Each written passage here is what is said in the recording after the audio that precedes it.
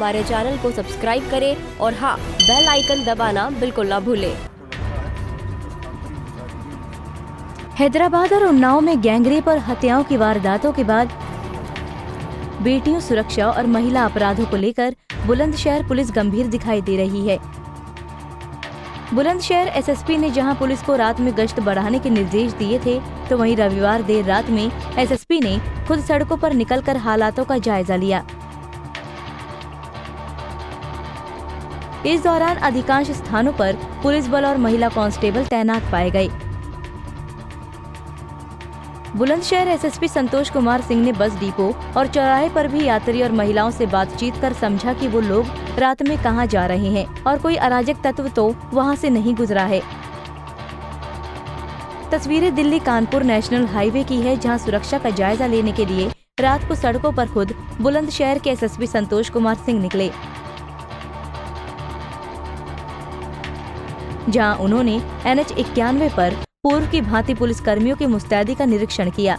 इस दौरान एसएसपी ने बाकायदा पुलिस कर्मियों और राहगीरों से मुलाकात कर उनकी समस्याओं को जाना और पुलिस कर्मियों को मौके पर ही आवश्यक निर्देश भी दिए।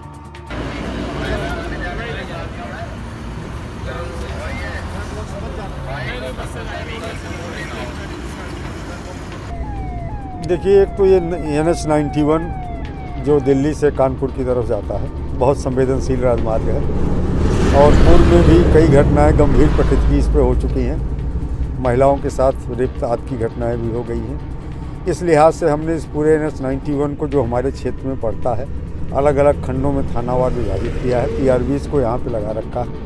ये चेक करने के लिए कि पी आर बी मुस्तैद हैं या नहीं और उन्हें क्या करना है। अगर कहीं कोई लावारिस हालत में कोई गाड़ी खड़ी है, कार खड़ी है या कहीं कोई महिला, किसी एक पुरुष के साथ है अंधेरे में, रात में उसको मदद की ज़रूरत है तो इन्हें सैनिटाइज करना और जो अराजक तत्व हैं, उनकी निगरानी करना और सुरक्षा भाव लोगों में पैदा हो, इसलिए पुलिस की मोबिलिटी को सुनिश्चित कराने के उद्देश्य को ले करके हम लोगों ने ये चलाया है और ये लगभग प्रतिदिन का एक हम लोगों का रूटीन का कार्य है, ताकि एक सुरक्षा भाव लोगों के मन में बना रहे, पुलिस मुस्तैद रहे और कोई आपराधिक वारदात न होने पाए। सर, आपने जो जो पॉइंट चेक करे, क्या वहाँ पुलिस मिली है?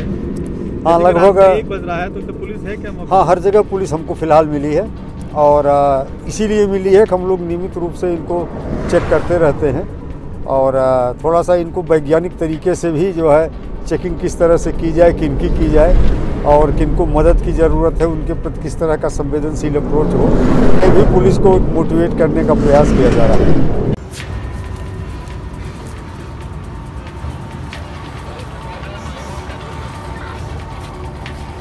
महिला कांस्टेबल प्रीति कुमार।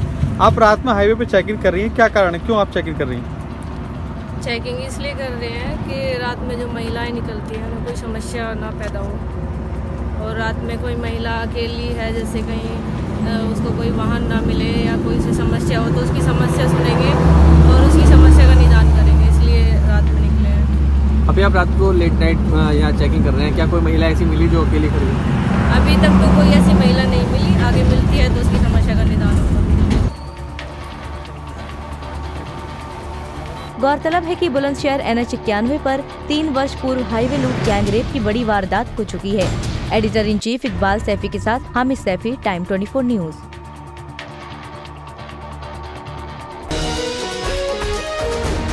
Time 24 news जज्बा सच दिखाने का।